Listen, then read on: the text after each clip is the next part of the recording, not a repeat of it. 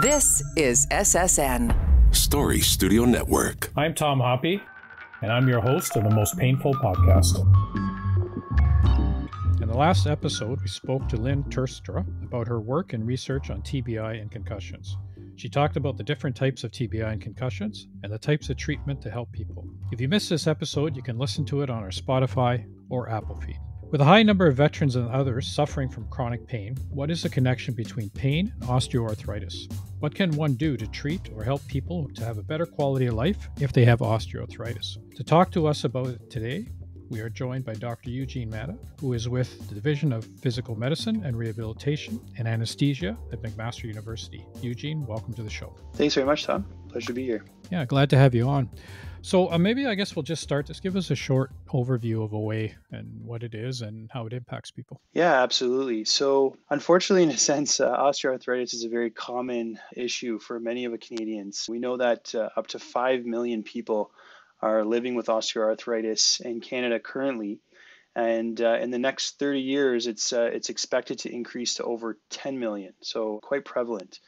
It's the third most common condition and disease state that we know of with uh, hypertension or high blood pressure, osteoporosis, and then osteoarthritis coming in at uh, number three. Although it, it can affect really all the joints of the body, we know that's most common. About 60% of people would experience it in the hip and the knee. So very common in, in, from that perspective. You know, one of, one of the things as a as a physical medicine and rehab physician and, and we say physiatrist is we, we try to look at you know what effect does it have on patients overall quality of life. And we know that um, you know it has a significant impact on what we call the health related quality of life and productivity of, of affected individuals.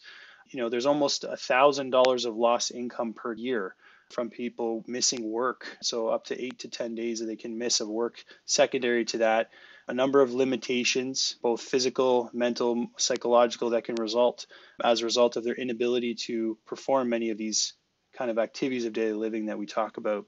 A, a general sense, osteoarthritis, what is it? Right. So everyone asks, you know, what what does that mean? Well, basically what it is is that the protective cartilage, so the surrounding protecting cartilage of each bone, the cushions, the ends of bones, wears down over time. And um, you know, there's there's a number of different causes or, or reasons as to why that would occur.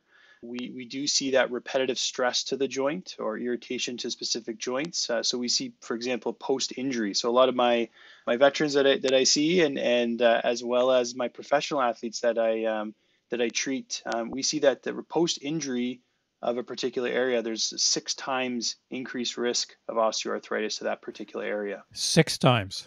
Six times, yeah, oh, absolutely. You know, we we do see that those who have advanced age, so over 65, there's there's a significantly elevated prevalence. But you know, as I mentioned, with with some of our younger population who have repetitive stress and strain through the joints or injuries, you know, it, it can be seen in our younger populations in the in the mid to early 30s as well. And we we do see that uh, for a lot of the professional athletes that, that I do see.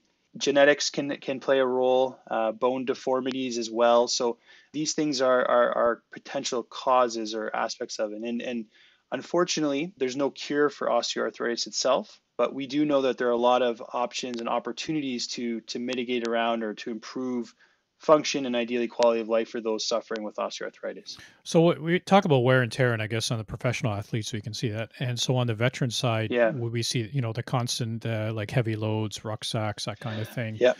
over time, yep. being beat around in an armored personnel carrier. Yep. So is that why there's a higher onset of that, even though it's not there's no injury related to that? It's just more wear and tear early on in life. Yeah, absolutely. So I mean, um, you know, oftentimes by by the time that I get to see the veterans, it's it's because there's a there's a particular area or aspect or potentially even injury that that resulted. But yes, absolutely, the the repetitive stress and strain, the the forceful activities that they're involved with on a consistent basis definitely accumulate to that. Plus, you know, your active activities of daily living. I mean, many of the, the veterans that I see are, are very active outside of you know their their core duties right so you know mm-hmm. on top of what are they already do they're they're quite involved with other things that can accelerate that process as well So what's the connection now between OA and then pain or chronic pain? Is one come before the other or vice versa? Or, you know, can someone have chronic pain somewhere else and then it's an onset after? Yeah, yeah, absolutely. So, I mean, they could definitely be strongly interrelated with each other for sure. You know, is it the chicken or the egg, right? And and and you can definitely have other chronic pain conditions that are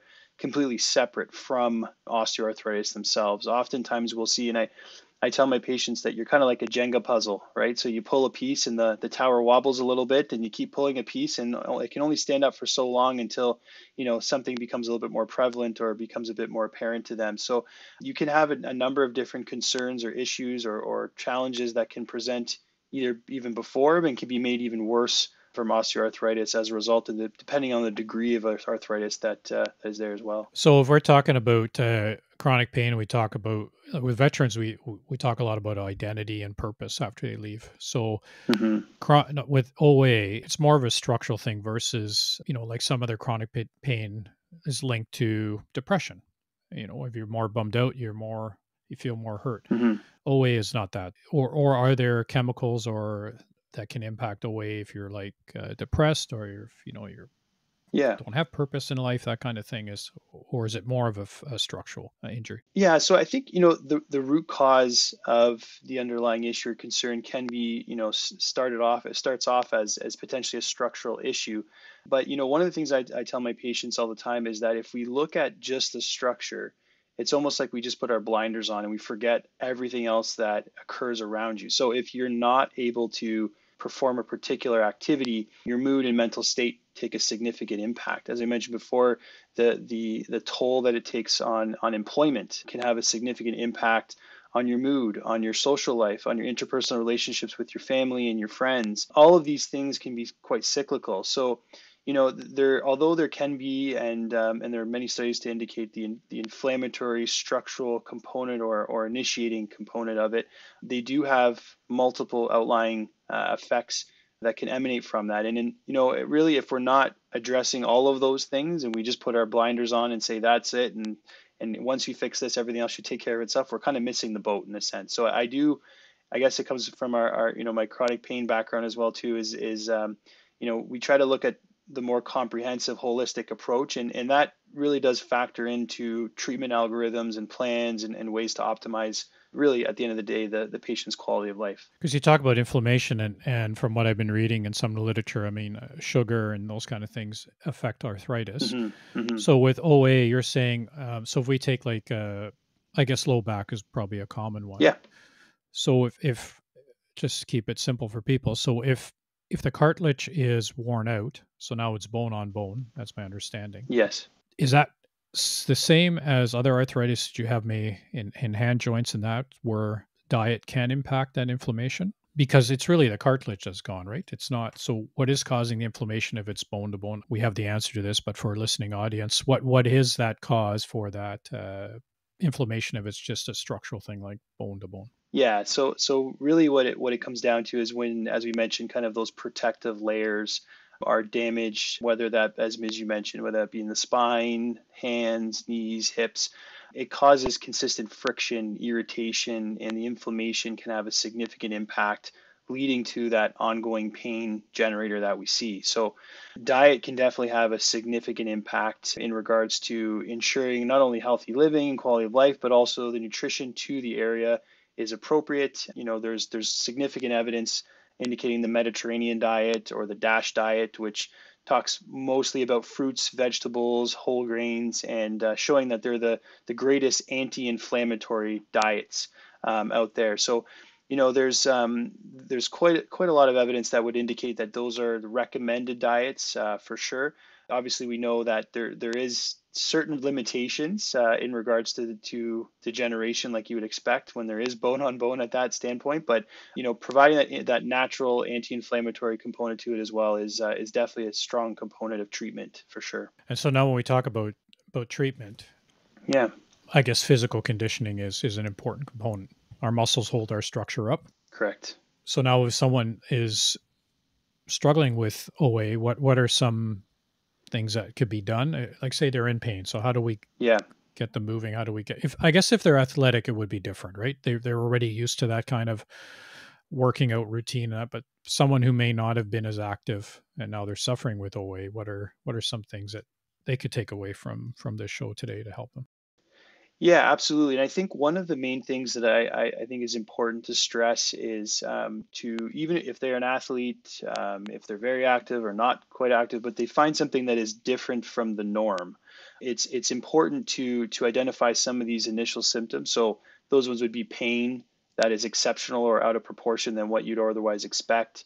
Stiffness, people will talk about often. My patients will say that specifically when waking up in the morning, they're very stiff and sore, and they're able to, throughout the course of the day, improve their activity levels. Reduced function, some tenderness over, say, for example, we're talking about the knee along the joints itself, losing flexibility, a grating sensation, or swelling. These are some common things that you would hear or see and our patients often talk to us about that. When when that happens, or when some of these symptoms come about, it's really important that we and we, w- we want to try to take away from today is providing this education of what to do next, right? And um, it's important that we we you know we go and seek further assistance either from our primary care physician, uh, physiotherapist colleagues, occupational therapists who can give us this this information in terms of how do we modify particular aspects of our day-to-day life. So when I talk to my patients about pain management as a whole, and, and specifically with osteoarthritis, I like to break it down into four compartments. So we, we call it like the four pronged approach to care. So the first thing that um, I, I, stress, which I think is really the most important, and one of those that you know has the we know has the best long term outcomes uh, for patients when they're able to self engage with some of these active as opposed to more passive interventions, is that we call it the conservative approach. So one of the things that we we talk about is weight management, right? So that's a that's a first um, one of the things that will that comes to mind, and we know that with each pound of weight loss, there's up to a fourfold reduction in load bearing through a particular joint. So this is huge when we're talking about a knee or a hip specifically. So so big big um, you know important aspects to consider. Physical activity and is a is another obviously very important and targeted aspect. We know that cardiovascular fitness and resistance, we, we kind of gauge and Health Canada tells us about 150 minutes total per week, 30 minutes per day, five days a week is is something that we look at. But also we call it neuromuscular control activities. So these are things which you, you may have heard about with Tai Chi, which does help to control specific activities and slow rhythmic movements. Low load exercise programs, so things like swimming or cycling, can be very helpful and are, are strongly encouraged. The next component of that uh, is assisted devices. So those can be things like walking aids, canes, walking poles, shock absorbing shoes. So these are types of things which which can definitely be uh, utilized. And as well, you know, if eh, it get very common, you may see them with people walking around with knee braces, and they can have knee braces that provide some additional structural support and stability for different areas of where this arthritis may be kicking in. Then the next aspect, which again is still under this conservative approach, is is joint protection. So it's the idea of, of understanding how to mitigate and work around your activities to make sure that you're not putting yourself at increased risk or increased harm. So avoiding particular activities that would otherwise bring on pain. So if it's for the knee, again, we would say squatting, kneeling, twisting, low seats. We can do other things where we can have raised toilet seats or raised bed to accommodate around these particular activities that you need to do, but maybe won't be as pain provoking if you make some modifications to it. This is where our occupational therapists help us quite a lot. A lot of things too, as I hear from from again veterans and, and athletes, is that you know I used to do this, I used to get it all done in one day, and that was it. I didn't have to space myself out or plan things around it. Well, you know, when you have some underlying pain concern, whether that be osteoarthritis or anything else, we have to learn about things we call pacing, planning, and prioritizing our activities around our pain generators. So, you know, our pain psychology colleagues, um, as well as physiotherapists, can definitely help us with these particular aspects to mitigate and work around our activities to ensure we can still complete them, but just not at the same level as we were before. So breaking them up into intervals can be quite helpful. Again, under the conservative uh, approach as well, we know that uh, self-management. So there's there's a number of uh, studies that indicate that psychosocial interventions like cognitive behavioral therapy may help with the management of osteoarthritis and function. And then we have the, the kind of the basic things, which I think a lot of our uh, our patients and listeners probably use is is ice to the affected areas, um, elevation, compression. These types of things can be quite helpful and can be done, you know, in your in your home environment. So that's conservative, very big, big uh, grouping. But at the same time, things that you can do typically in your own home setting. You don't maybe you may need some assistance with them, but mostly taking an active approach to your care moving forward. And I guess too the other thing too as we age is also muscle loss, right? And the impact yeah, of absolutely. Of and then absolutely. You know, you talk about weight loss. You know, I know well, I'm one of those people where I have a hard time putting on weight and putting on muscle, right? So yep, I'm the opposite yep, end of it yep, too. Yep. But that but that's all important to support support the body as well as we age. So I guess you know these kind of things from what I'm hearing you say too is you know pre- prevention is key is maybe if we're in you know if we're in the military or professional athletes or people who have hard jobs is to start working out earlier in your life if you're not already doing that to try to maintain muscle maintain health so that it's you know as you get hit by this you at least have something to to kind of help you out or to what's the right word have some reserves in the tank to help you through the absolutely yeah yeah you know i talk to my patients a lot about having that supporting structure or scaffolding around the joint. So again, if we're referring to the knee, it's, it's strengthening the muscles above and below the joint to provide that extra stability and support so we can offload some of the area or this repetitive stress and strain through the joint, you know, is, is really key. And as you mentioned, a lot of our patients can find that strengthening those muscles and providing that extra stability and support is, is really all they need at times, especially in the early stages where we will not have to intervene to other aspects or other areas. Um, and these are things that they can do either with some minimal guidance or even uh, at home alone, right? So the, these are some huge important points. So for people who are suffering with early onset of OA and they're doing all what you just talked about under the conservative um, regime, can they live into an older age without getting into the surgical interventions or or walking aids and things like that? Yeah absolutely and i think one of the most important things that we talk about again pain as a whole but a specific osteoarthritic uh, osteoarthritic type pain is we don't ever really treat an image we, we treat a person. So we want to know what your function is like. And and if you were able to perform your activities of daily living or your you know your extracurricular activities and your function isn't significantly impaired or you're able to modify it as with some of those tools and strategies that we talked about earlier then then absolutely i mean surgery would not be warranted or indicated.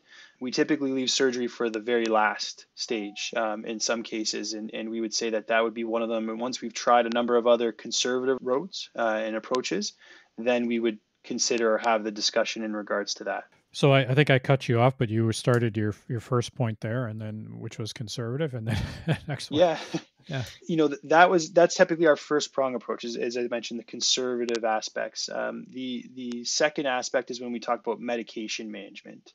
So there are a number of different uh, topical creams, anti-inflammatories that uh, that our, our, patients will typically use and, and can be recommended. And then there's a whole set of oral medications that are also suggested and, and, are approved through Health Canada in regards to using and helping to reduce the pain in which they're experiencing. So topical uh, creams such as diclofenac, so it's an anti-inflammatory, can be purchased over the counter throughout Canada. And typically we would, you know, we ask our patients to apply it to the affected area, whether it be again in the, the fingers or the knee, and you can apply it a couple, three, two to three times a day. Typically it needs to be put on and those segmented intervals, I usually tell my patients breakfast, lunch, and dinner is quite helpful to remember those those intervals to ensure that it's able to, to break through the, the layers of the skin and down to the affected area. There are a number of different compounded uh, creams as well, which which patients re- will use from time to time. They, they find them quite helpful typically we would we would start off with the anti-inflammatory kinds. Tylenol, you know, is, is something again. It's a, it's our first line really recommended medication that can be used, purchased over the counter, and uh, we talk about using reasonable doses would be maximum three grams a day of the Tylenol. But usually tell people let's try once or twice a day, and you can always ramp up as as necessary or as appropriate, um, are reasonable options oral anti-inflammatories as well as the you know Aleve and uh, some other ones medications that have anti-inflammatory properties but also stomach protectors and coatings can also be quite helpful. And then um, you know once once we've tried those there, there are a couple of other ones which are recommended again through health canada but kind of our, our lower end ones in terms of on the line where we use medications such as we call Cymbalta. And then um, there's also talk of certain times in certain situations where you would consider the use of opioids. But again, that wouldn't be something that we would jump to right away by any means. Yeah, and you would be seeing a professional from there anyway. Absolutely. So now you said you had two more points, right? Yeah. So so yeah. So the the, the third point um, are interventions or procedures. So oftentimes you'll you'll hear uh, patients uh, say, "Well, I had a, a, knee injection, I had cortisone, uh, I had a steroid in my knee." So so those are one component of it. There are a number of different in, injectables that uh, that can be done into the knee. Um, the the evidence would indicate that for you know for both hip and knee osteoarthritis, they they can corticosteroid can be effective in reducing pain and improving function for typically up to three months in total. But you know the, the again the evidence and the consensus in regards to how many and how frequent is, is a variable to an extent, but we, we want to try to use as many steroid sparing interventions as possible if we can. There are also lubricants or gels, we call them viscosupplements, uh, which basically cushion, support, and as well as provide that anti inflammatory component. And there's some newer injectates that we're looking at in terms of platelet-rich plasma or PRP, which is which is often talked about and looked into, and some others that are not available in Canada, such as stem cells and so on, that are, are studied throughout uh, throughout the world. And then uh, our last one, so our very last one is surgery. So and then that's uh, that's when we've kind of you know exhausted. We've worked our way up the ladder. We've had an opportunity to try and, and see if we can try more some of those conservative to more invasive approaches, and if need be, then uh, we look into some of those additional aspects. Yeah. So from what what I'm hearing is, and I've I've heard this from other experts and been reading a bit about it on too, is really is to start early in life, stay fit, have a good lifestyle, be proactive with your health. Absolutely. Because it sounds like we're all going to get this. Some some of us are going to get it earlier than depending on our jobs are going to get it earlier than anybody else, but that's kind of the number one thing I'm getting from this is be proactive with your health, stay strong, diet, the whole 9 yards, everything we hear about. Right. And and I guess, you know, we always hear professionals say you got to exercise, you got to exercise. But we're not getting like well, what does that mean? Mm-hmm, mm-hmm. What does that look like? Mm-hmm, right. Mm-hmm. So I think those are the uh, that would probably be a, a, talk for another day. But uh, yeah, absolutely. I mean, I think as well as is to to understand that there's many many options to help address um, osteoarthritis as well. And, and, you know, some some patients will say, well, I just need an injection. Well, maybe you maybe you don't, right? And maybe there are some other opportunities that we don't have to dive into this particular aspect, and we can get we can achieve just as, as great a benefit from other opportunities that we mentioned before. And and you know, I think it's it's it's important for your listeners as well to to note that there's a lot of great information available and easily free access.